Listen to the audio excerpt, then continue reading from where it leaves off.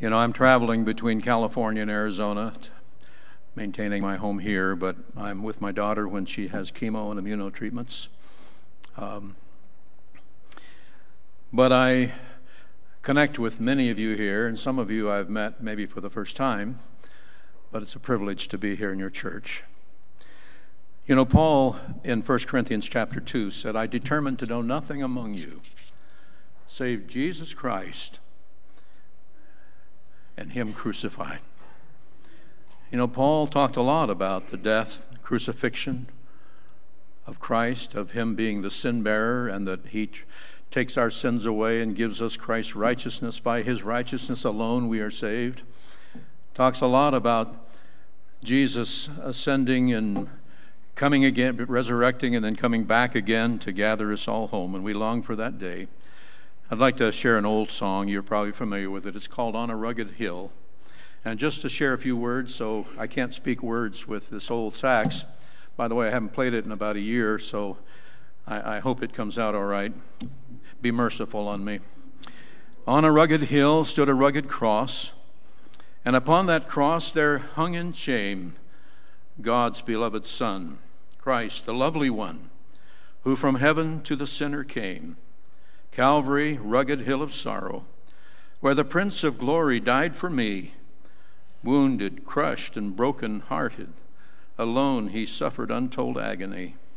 Sinless, there he bore my burdens, that from sinful shame I might be free. Glorious day, he took my sins away on the cross of Calvary.